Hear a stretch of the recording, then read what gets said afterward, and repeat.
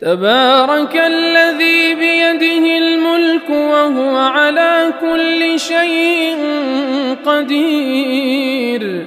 الذي خلق الموت والحياة ليبلوكم أيكم أحسن عملا وهو العزيز الغفور. نحمده ونصلي على رسوله الكريم أما بعد. فأعوذ بالله من الشيطان الرجيم. بسم الله الرحمن الرحيم. ومن آياته خلق السماوات والأرض واختلاف ألسنتكم وألوانكم إن في ذلك لآيات للعالمين. صدق الله العظيم. Distinguished President of the program, highly qualified judges, respected teachers and dear audience, I feel proud to stand before dignitaries like you with intention to speak some words on why English is important for us. Dear fellows, language is, language is our primary source of communication. It's the method through which we have shared our ideas and thoughts with others. Some people even say that language is what separates us from animals and makes us human. There are thousands of languages in this world. Countries have their own national languages in addition to a variety of local languages in different regions. Some languages are spoken by millions of people, others by only a few thousand. English is one of the most important global languages spoken across the world.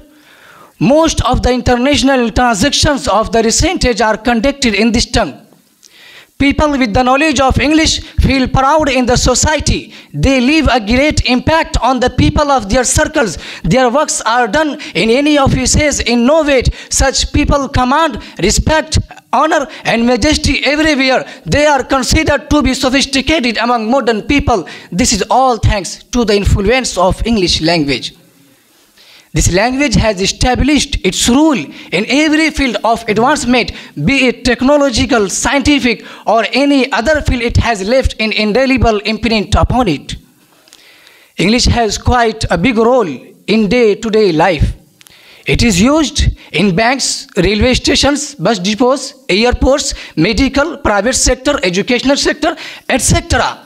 English is a trade language with other countries and students are prime learners of English because if they want to build up a good career, they have to attain good English speaking skills and confidence to face many people in interviews. Without English, it is very tough to manage in this ultra modern world. Here I would like to enumerate a few Asian countries where English is spoken in considerable percentage. In India, 12.18% people speak English. Pakistan, 49%. Nepal, 46.49%. Sri Lanka, 47%. Malaysia, 62.57%. Bangladesh, 18%. This is the case of some developing Asian countries, not to speak of European and American countries where English is their native language. Dear brethren, this is the age of science and technology.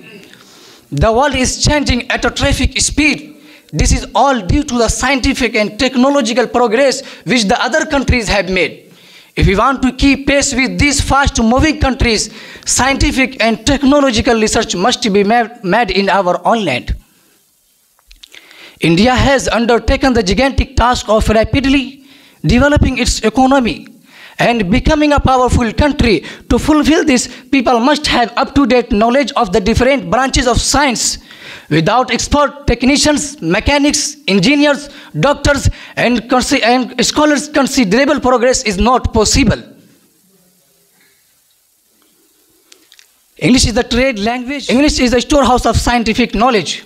Hence, its studies of great importance for a developing country like India.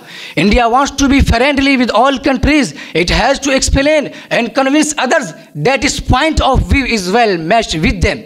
This cannot be done without, a, without an effective medium for the exchange of ideas.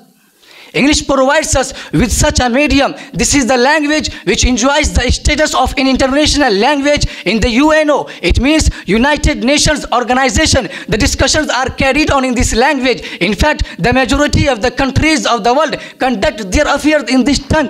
If India wants to play its role in international matters effectively, its people must continue to study English.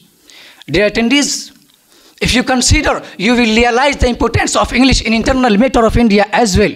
India is a country in which people living different parts have their own languages.